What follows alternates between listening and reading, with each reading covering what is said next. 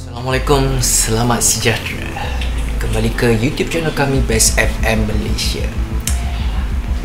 Okay uh, Hari ini saya nak bercerita berkenaan dengan sebuah kisah hantu juga. Kalau sebelum ni saya ada uh, bercerita berkenaan dengan kisah hantu lilin pada tahun 1995 tetapi pada tahun 1996 setahun kemudian muncul lagi sebuah uh, kisah ataupun sebuah cerita hantu yang menggemparkan negara pada tahun tersebut. Di mana kemunculan hantu pudah kancing merah.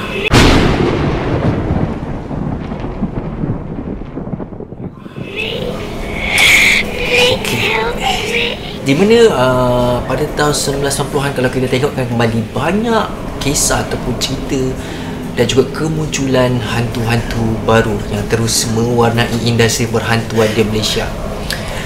Dan untuk pengetahuan anda yang sedang menonton uh, YouTube channel kami, jangan lupa subscribe, share dan juga like YouTube channel kami Best FM Malaysia. Tahun 1996 di mana muncul hantu budak kancing merah. So kalau kita nak tengokkan kembali cerita ini di mana hantu cerita ini tersebut hantu ni bukanlah hantu sebenarnya. Kalau tengok balik kita tengok rentetan uh, kisah dan juga peristiwa dia. Cerita ni berkenaan dengan kisah seorang wanita. Hmm, pasti ramai yang terfikir-fikir dan juga tertanya siapakah wanita tersebut sehingga menjadi hantu budak kancil merah okay. ceritanya bermula apabila seorang gadis ataupun wanita belajar di sebuah institusi pengajian tinggi dan uh, ketika memasuki IPT tersebut wanita ini bergaul dengan rakan-rakan wanitanya yang lain. Biasalah bila kita dah masuk ke alam universiti ataupun alam institusi pengajian tinggi ialah kita pun nak cantik. Tengok kawan cantik kita pun rasa nak cantik. Dan uh, untuk pengetahuan anda cerita ni sebenarnya banyak versinya. Walaupun banyak versinya tetapi jalan ceritanya tetap sama di mana wanita ini bergaul dengan wanita kawan-kawannya yang lebih cantik dan juga mendapat lebih perhatian daripada dirinya. Dan juga ada satu versi yang mengatakan di mana wanita ini dipinggirkan oleh kawan-kawannya. Jadi um, wanita ni dia terasa sangat kecil dan juga sangat sedia apabila dia sering dipersendakan oleh rakan-rakannya. Lagi-lagi bila bercampur dengan rakan-rakannya yang lebih cantik. Lalu wanita ini mengambil keputusan untuk mendapat kecantikan dengan cara yang salah. Ada banyak versi cara dia mendapatkan kecantikan tersebut. Versi yang pertama di mana wanita ini berjumpa dengan seorang mumu untuk mendapatkan kecantikan dan juga adalah dia punya cara-cara lah. Macam cerita kan. Uh, mumu tu bagi tahu apa semua. Dan ada satu versi lain pula di mana wanita ini mengikuti uh, rakannya untuk pulang ke kampung. Rakannya tersebut adalah juniornya untuk pulang ke kampung di selatan tanah air. Dan uh, pada waktu itu di rumah rakannya dia nampak orang keluar masuk keluar masuk ke bilik neneknya dan dia mengambil keputusan untuk berjumpa dengan nenek rakannya untuk bertanyakan sesuatu. Dan disitulah nenek tersebut mengatakan boleh mendap- boleh memberikan kecantikan kepada wanita ini uh, dengan cara memakai susuk. Ya yeah, susuk mas uh, jadi lebih kurang uh, jalan cerita dia masa tu. Jadi uh, kebalik kita cerita pasal Bobo ni uh, Bobo tersebut memberikan kecantikan kepada wanita tersebut tetapi dengan mengamalkan banyak pantang larangnya. Kalau yang macam ini tadi bila pakai susuk biasalah tak boleh makan pisang. Mas tak boleh jemur baju ke apa ya? Tak boleh juga uh, makan benda-benda yang bercucuk. Oh, itu oh, banyak sangat ni nak cantik punya pasal? Dan uh, yang macam yang bomo mula-mula tu pula Katanya tak boleh tengok cermin selama 40 hari ke 44 hari lebih kurang macam tu lah. Uh, Jadi uh, bila dah berjumpa dengan bomo tu uh, Wanita tersebut pulanglah semula ke IPT Jadi masuk ke IPT tu Oh, dah cantik kan? Huh.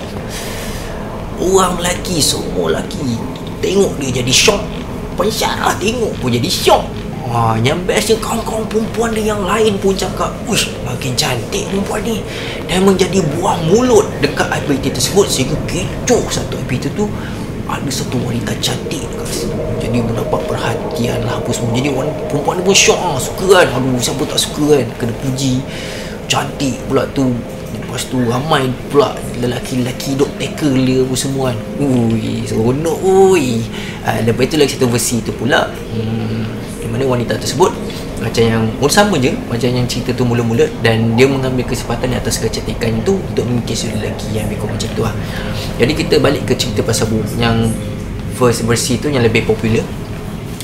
Um, di mana like uh, wanita tersebut uh, ialah bila dah shock suka lah kan. Tapi itulah masalahnya. Dia dah tengok cermin cantik sangat ke? Muka dia sampai orang duk cakap-cakap ni kan. Dia tak sabar tapi masalahnya belum cukup 40 hari Ah, itulah dia. Tapi perempuan ni kata tak boleh. Dia terlalu excited. Dia pun langgarlah pantang larang bumi tersebut dengan melihat cermin. Ah, nampak tak? Bila dia tengok cermin tu, perempuan tu pun terperanjat. Muka dia memang cantik. Kata orang tu kalah artis lah.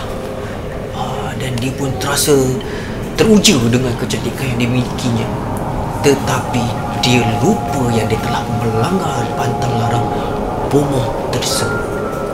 Dan kemudian selepas melihat cermin, wajahnya bertukar menjadi hodoh bila kulitnya melecut.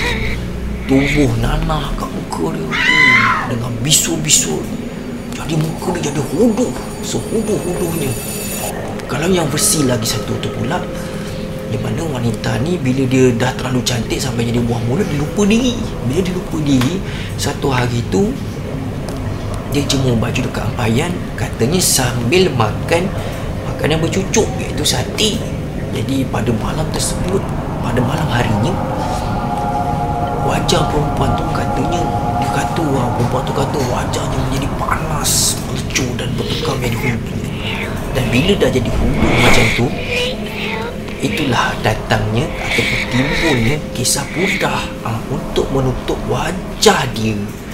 Jadi dia mengambil keputusan untuk pakai Buddha dan kalau yang lagi satu tu dia uh, sama dia pun pergi kelas pakai Buddha uh, dan juga dia mengambil uh, inisiatif dengan menggunakan kereta kancil. Ada satu lelaki tu sebelumnya ada usha dia lah pakai kancil merah tu lah mengambil kancing tersebut untuk pergi jumpa nenek tu. Kalau yang bomoh tu pula dia pakai budak dia ambil keputusan untuk jumpa bomoh tersebut. Jadi bila dah cerita dengan bomoh tu duk cerita-cerita bomoh tu tak boleh buat apa lagi dah ialah kan dah langgar pantang dah ni.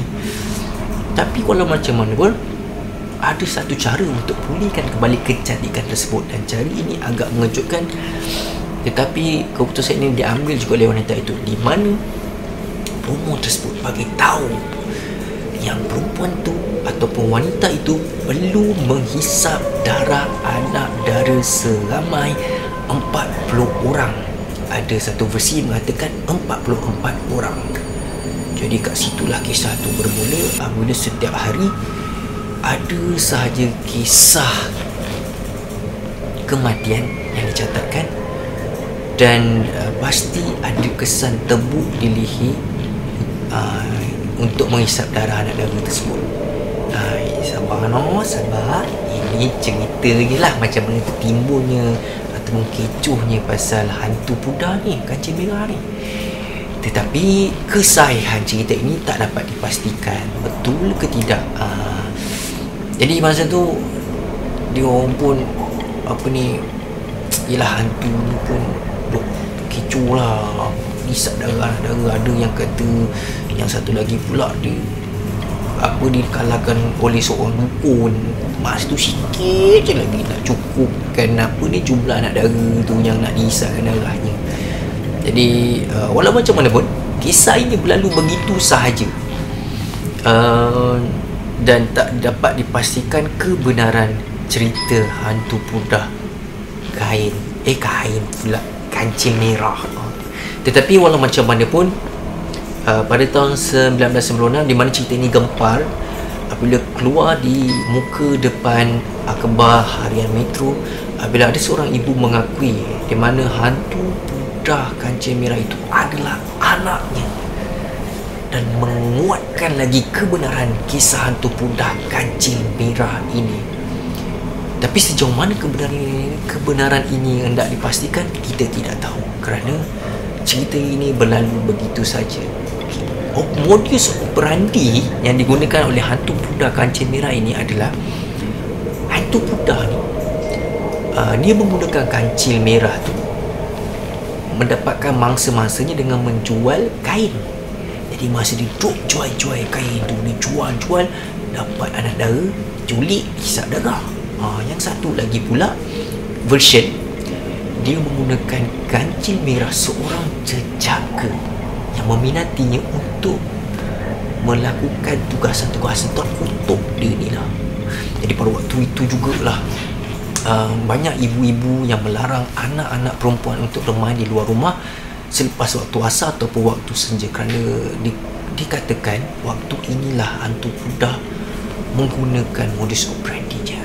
Dan kerana hantu budak kancing merah ni juga orang takut bila jumpa dengan perempuan yang pakai pudah ialah sekarang ni kalau kita jumpa orang cakap pakai nikap lah. Wih takut wih zaman tu 96 Jumpa lagi jumpa lagi. Sampai orang yang pakai pudah pun jadi rasa macam Diskriminasi wih Cerita ni oh, Lagi satu pula Bila nampak kancil merah dia takut. Kancil merah dia takut. Yelah siapa tak takut kan? Ha, Tapi padahal cerita ini cuma buah mulut Dari mulut ke mulut Dan apa yang paling best ni lagi satu Bukannya orang lelaki Eh orang perempuan Orang lelaki pun takut bila nampak budak apa ni perempuan pakai budak dengan kereta kancing merah ni. Padahal hantu tu nak anak dara. Yang lelaki tu nak takut pasal apa? Walai. dan yang uh, seterusnya pula selain pada hantu lilin inilah hantu kedua yang muncul dekat muka depan harian Metro. Ah, jangan duk tanya pula berapa naskah terjual. Dah yang tu tak tahu lah. Cuma samalah cerita dia. Okey, kalau ramai kita tanya ke manakah perginya hantu pudah kaca merah ni? Sampai sekarang kita tak tahu sebab apa ceritanya hilang macam tu saja. Dan uh, cerita pasal uh, wanita MPT ini ini adalah cerita dari mulut ke mulut. Dan uh, pengakuan yang dibuat oleh seorang ibu yang berasal dari Kuantan Pahang sehingga masuk ke yang mengatakan an, an, hantu pudah tu adalah anaknya pun tak dapat dipastikan. Sebab apa? Dia kata dia mengurung anaknya kerana uh, masa tu lagi orang ke seorang lagi nak cukup 44 orang. Tapi masalahnya memang keluar cerita soal apa tapi cerita ni masuk kes polis pun tak ada. Ha, sebab apa? That's why kita cakap cerita ni kita tak boleh nak pastikan kebenaran je. So kepada anda fikirkanlah sendiri. Jangan tanya saya ke manakah perginya. Hantu budak kancing merah sebab saya pun tak tahu. Okey, itu sajalah yang dapat saya ceritakan. Berkenaan dengan hantu budak kancil merah yang terus mewarnai industri perhantuan di Malaysia. Jangan lupa subscribe, share, like dan juga komen YouTube channel kami, SFM Malaysia. Assalamualaikum.